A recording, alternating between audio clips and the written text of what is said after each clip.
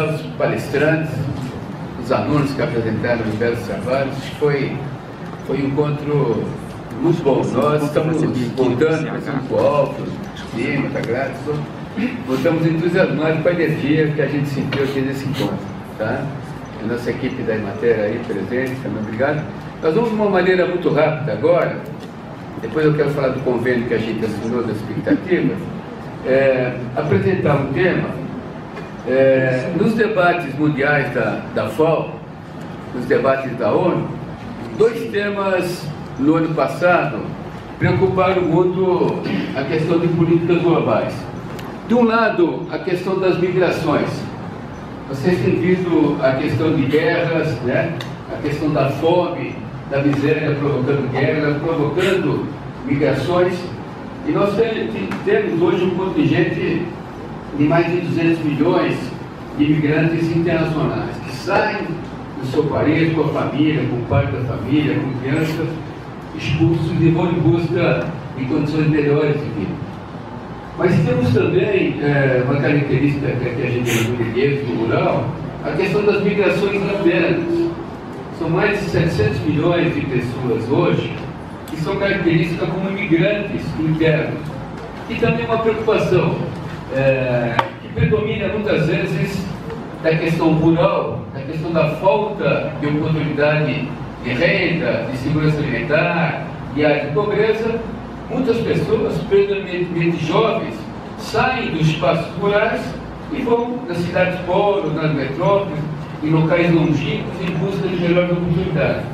Então, esse foi um tema que a ONU debateu e começou a discutir que alternativas que se puder pensar para você é, inverter esse processo da migração poder oferecer oportunidades para que esses migrantes pudessem permanecer no seu local de origem, podendo escolher outras opções de desenvolvimento e não de serem obrigados a saírem do seu local de origem para um local incerto. Do outro lado, a FAO discutia a questão da agricultura. Nós queremos trabalhar 2030, o Zoni colocou para nós, os chamados Objetivos do Milênio, e o primeiro objetivo foi pensar no mundo fome zero. E hoje nós temos quase 800 milhões de pessoas que estão em situação eh, de miséria e que estão em situação de fome em todo o mundo. Temos um contingente maior ainda de pessoas que fazem a chamada alimentação inadequada, a questão dos obesos. Então o problema da alimentação é muito grande para a fome e a gente tem que pensar alternativas de produzir alimentos para um mundo fome zero. E temos também um horizonte de um crescimento global da população. Em 2050, o mundo terá mais de 10 bilhões de habitantes. É crescer mais de 50% a população. Então, uma população que cresce, uma população que precisa de alimentos a níveis mínimos de qualidade, há uma demanda forte para a agricultura.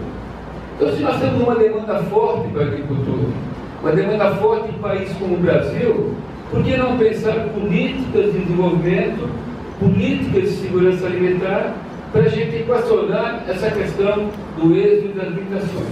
Eu vou passar de uma maneira bem rápida, depois o documento vai ficar disponível para vocês, é, sobre esse processo, então, e como a gente poderia discutir aqui uma questão de mudar o futuro da migração, investir em segurança alimentar e desenvolvimento rural.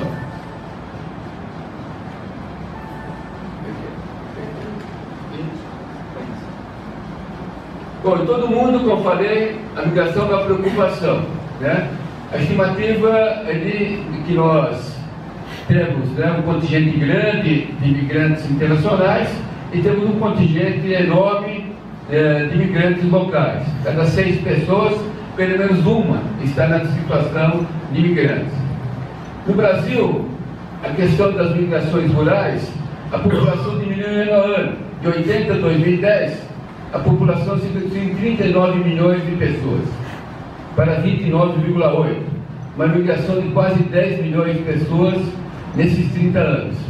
Só em 2000 e 2010, nós tivemos uma redução de 2 milhões de pessoas na população rural. Predomina nessa questão dos migrantes os jovens de 15 a 29 anos de idade. No Paraná, um dos principais estados produtores de alimentos, hoje o número de jovens de 15 a 20 anos já é inferior ao número de estabelecimentos. Se nós temos 370 mil propriedades, nós não temos 370 mil jovens hoje vivendo no meio rural do estado como Paraná. Conforme dados do IBGE, 34 milhões de jovens de 14 a 24 anos, 18% deles residiam no rural. Isso uh, no censo de 2000. Se a gente pegar no censo de 2010, você vai ver que a população se reduziu em 10% na década. Então já temos 5 milhões e 500 mil. Tá? O que equivalente a 16% da população total de jovens. Isso a nível de Brasil. Em 2010, no meio rural, a população de sexo feminino era de 2,6 milhões. É, e do sexo masculino de 2,9, aquilo que o Costa Maia falou. A proporção homem e mulher é de 1,3. Migram primeiro as mulheres, há um predomínio nas migrações das mulheres, e mais jovens. Né? Como tem predominado a migração de jovens, do sexo feminino, nós temos aquilo que eu promovo, que está mandando falar em 99, um quadro de envelhecimento e esvaziamento do campo, e uma masculinização do campo rural. No Paraná, a população de jovens de 15 a 24 é, é de 1,8 milhões, dos quais 255 mil residiam em áreas rurais. Para 370 mil propriedades, você tem o quadro. Né? Se a gente pensar o número de, de jovens de 15 a 29, ainda assim 363 mil propriedades, já é inferior ao número de estabelecimentos que a gente tem. No Paraná e região sul, boa parte do Brasil rural, o êxito da população jovem é muito preocupante, com um conjunto de unidades familiares já sem sucessor, comprometendo comunidades, pequenos municípios, cadeias agroalimentares e a própria viabilidade da agricultura familiar e da própria segurança alimentar. Você imagina historicamente quanto se investe numa propriedade em termos de cultura, de capital humano, de predomínio, de saber da produção de alimentos, de logística, e pensar que hoje 20 a 25% dessas propriedades já não tem sucessor.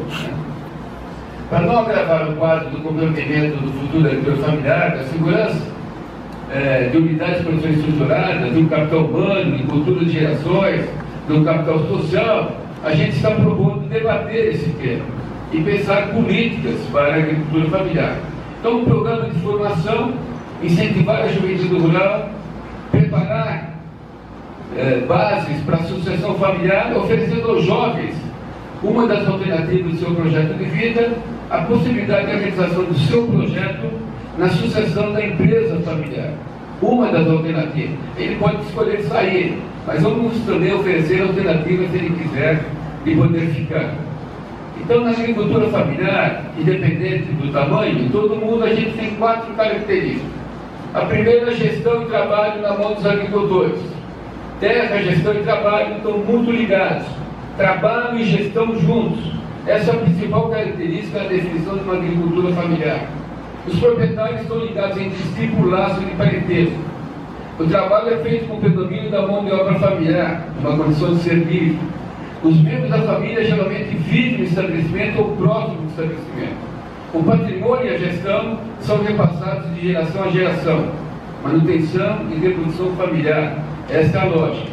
Se pensarmos nas características de uma empresa familiar, ela é muito próxima do é a agricultura familiar. Qualquer empresa familiar, propriedade ou controle da empresa pela família.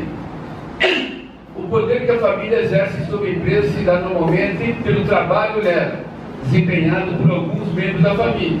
E a terceira, como na agricultura, a intenção de uma empresa, de uma empresa familiar sempre é de transferir às futuras gerações, né? Isso inclui né, a inclusão de membros dessa nova geração na própria empresa. Então, repassar é uma característica forte de empresas como da agricultura familiar. Nós temos uma complexidade muito grande no quadro da sucessão. Tem membros da família que são proprietários e que trabalham na própria propriedade. Então, eu posso ser da família, sou proprietário e trabalho na propriedade. Tem membros da família é, e trabalhando na propriedade. Mas é, tem membros da família e cotistas da propriedade, mas ele não trabalha na propriedade. Tem membro da família que não é cotista, mas trabalha na propriedade. Tem é, trabalhadores que são proprietários e trabalham na empresa, mas não são da família. Tem alguns que são só componentes da família, outros são só proprietários, outros só fazem parte da empresa. Então, nem tudo é um sucessor, que é parte da família, parte da propriedade e da empresa. Há uma complexidade de relações e como é que a gente discute sucessão nessa complexidade e nessas formas. Herdeiro é diferente de sucessor. O herdeiro é quando o pai, a mãe completam o inventário ou falecimento, você tem o herdeiro. Mas o sucessor já aquele que substitui em determinados cargos funções do produtor ou a produtora. Então, a gente quer pensar essa questão da sucessão antes do processo de herdeiro, antes do processo de, inventário. Então, na agricultura familiar, esse processo é de fundamental importância para o sucesso da passagem da propriedade familiar para uma outra geração, iniciando um processo crescente de sucessão com herdeiros que optaram por ficar na propriedade. Percebe modelos de sucessão planejada, tardia e de não sucessão. No primeiro grupo, com sucessão planejada, temos as melhores condições produtivas, econômicas e também o estímulo ao filho continuar. Na sucessão tardia, a transição do patrimônio sem planejamento com os pais já bastante envelhecidos. É um processo complicado. E, é, em ambos os processos, transitores asseguram predominantemente o estabelecimento para os filhos. Existia um processo típico de preferência um filho homem, caçula ou mais velho, que ficaria com os pais. Agricultores sem sucessores apresentam como arranjo a venda ou a passagem, também igual aos como falou o pastor Mike, já está longe da propriedade. Porque a geração atual de agricultores familiares, instituições públicas, nacional e internacional, discute o termo. Porque já há um conjunto de jovens menor que o número de estabelecimento. Já está comprometido o futuro da agricultura familiar. Nos municípios rurais, a vida comunitária, com seus equipamentos, serviços, lazer, vai se viabilizando pela baixa densidade demográfica provocado pela migração de jovens. Instituições econômicas, como agroindústrias, bancos, cooperativas, tendem a se enfraquecer é, ao perder sócios com experiência, ao perder a propriedade integrada e estruturada, por falta se o número de sucessores forem muito grande e nós temos um vazio demográfico. Nas cidades, sindicatos, bancos, cooperativas, redes de comércio também ficam enfraquecidos. Que impacto tem a sucessão sobre a qualidade da agricultura familiar? O fortalecimento da, da empresa familiar, ampliando a segurança alimentar, viabilizando a consolidação de uma nova geração. Um rural sustentável com gente feliz, viabilizando um conjunto de equipamentos, serviços e lazer, ampliando a qualidade de vida, se a gente assegurar a sucessão. Preservação da cultura acumulada ao longo de gerações e das instituições ligadas ao ar. O capital humano maior dos jovens a média de estudos dos jovens hoje é o dobro do que a dos pais, que associado à experiência de pais e avós, pode formar um novo agricultor agricultora mais inovador que a geração anterior. Nós temos um aumento da qualidade da agricultura familiar ao garantir a sucessão. A sucessão vem cambiar na garantia de qualidade de vida para os pais da velhice. Então, propriedades com sucessor, a gente tem mais humanização na própria aposentadoria dos pais. Né? O que os jovens querem para serem sucessores? Um projeto futuro, tem que enxergar na propriedade familiar a viabilidade de um projeto de vida, de renda, de qualidade, como o Maia falou aqui, não só de, de equipamentos, de questões, mas da água, da luz, da internet, um novo ambiente educacional. O jovem, mesmo na questão dos regimes alternantes, quer ter acesso à continuidade da educação. Então, é, isso é bastante importante ter a garantia de políticas de APER, de formação profissional, da inclusão digital. Então nós temos que pensar um novo ambiente educacional para garantir qualidade ao jovem. Um protagonismo juvenil. O pastor Maia falou da dificuldade de atrair os jovens das cooperativas, dos sindicatos. mas não há muito espaço a esses jovens compor a diretoria, tomar decisões da diretoria, serem ouvidos nas suas inovações. Então há pouca sensibilidade dos dirigentes. Aqui se inclui, professor Mãe, os dirigentes das nossas cooperativas. E você garantir espaço de protagonismo uh, à juventude. Né? É, é, alternativa de geração de renda agrícola e não agrícola, necessariamente no rural, necessariamente não passa por só projetos de arte na agricultura. Você pode ter né, outras linhas, e o próprio Pronaf poder proporcionar isso. Boas condições de vida, jovens da associação lutam por aumento de qualidade de vida no lar, na comunidade, na sede e no município. Os próprios benefícios penitenciários, o jovem ao completar 16 ou 18 anos, já ter o CADIPRO, já ter a nota do produtor, já ter um plano previdenciário de futuro nesse processo. E ter políticas né, adequadas à questão de alternativas no rural para isso. A sucessão envolve cinco fatores importantes. A vontade ou necessidade do produtor de se afastar da sua condição. É preciso que os pais, naquele centralismo que aprendeu com avós, comecem a descentralizar poderes ao jovem, a jovem que está fazendo parte da sucessão. A vontade e a disponibilidade do sucessor de assumir o controle. Orgulho em assumir a profissão do pai e ser agricultor na questão do rural. Né? Acordo em manter a família envolvida direto ou indiretamente no acompanhamento da empresa. Os outros que não são envolvidos direto têm que ser co-participantes.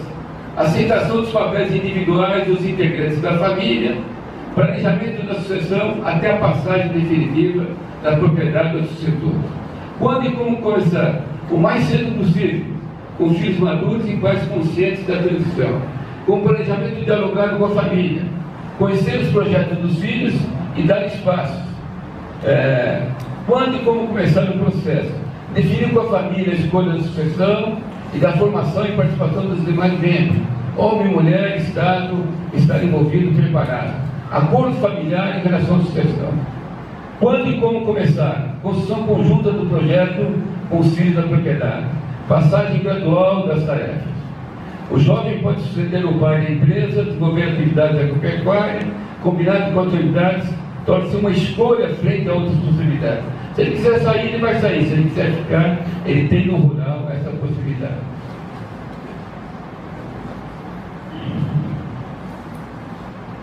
oh, agora venceu o meu tempo, só quero. Atualmente a associação tem uma possibilidade de se concretizar na onde? Nas propriedades que os pais têm condições econômicas para atender os anseios dos filhos num projeto futuro. Em comunidades rurais com melhor infraestrutura, com cooperativas, agrofúcias, diferentes alternativas de mercado. Em áreas de oportunidade também de obtenção de outras rendas. Atualmente, né, é, acho que é mais ou menos isso. Então, o que eu queria dizer que esse é um tema que a FAO escolheu como prioridade esse ano, é, nesse outubro, no Dia Mundial da Alimentação, a gente discutir a questão das migrações, discutir um novo planejamento para um rural sustentável e poder oferecer alternativas viáveis às populações rurais. Concluir, queria dizer que nós estamos falando com o Toninho, para nós foi muito importante uh, esse protocolo de parceria que assinamos hoje. A FAO, uh, de Região Sul, ela tem uma das entidades mantenedoras dela, a Itaipu. E nós temos um comprometimento de ter também uma atuação em parte aqui no oeste com vocês. Então, para nós, a gente pensar uma participação é muito importante. Nós estamos com Costa Maia, com Vanderlei, com o CD, é, discutindo hoje com Brasília dois consultores para a gente fazer um bom diagnóstico das cooperativas da Unicap.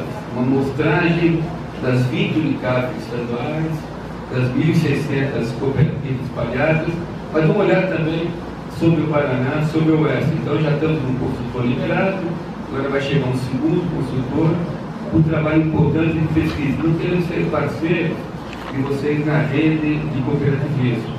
É, nós, na semana que vem, teremos um encontro do Relacer, de uma rede latino-americana de extensão rural. Também nesse debate de pesquisa e extensão rural com a universidade, Também tem um projeto ali na América Latina da gente pensar uma intersecção, uma discussão, alguns trabalhos conjuntos, por isso é muito importante aquele debate outro com as entidades parceiras, também tem um campo é, nesse processo. Então, é, de parte da FAO, interesse num conjunto de trabalhos conjuntos, né? E vamos juntos buscar parcerias para viabilizar bolsas, né? outros trabalhos nesse processo. Então, acho que esse é um convênio guarda-chuva e contar conosco nessa, nessa cooperação com a FAO Brasil, com a FAO Chile, com a FAO Roma, para a gente é, ser uma parceria de um ganha-ganha nesse toda a criatividade é, que esse foro que a própria UEF. Então, é, ficamos muito contentes com, com o convênio e com essa participação. É, esse, essa fala é muito rápida sobre juventude e sucessão. Eu produzi um texto, a semana que vem, ele vai ser entregue aqui no UEF, ele vai também estar à disposição né, no nosso site de Boas. Então tem um texto já trabalhando esse processo mais alongado dessa fala que eu fiz aqui rapidamente, ok? Agradecer mais uma vez, Ivan, Dalva, Anitta, pela presença, e vamos ver outros trabalhos, Ivan, nessa linha da chamada empreendedores Obrigado, gente. Desculpa aí,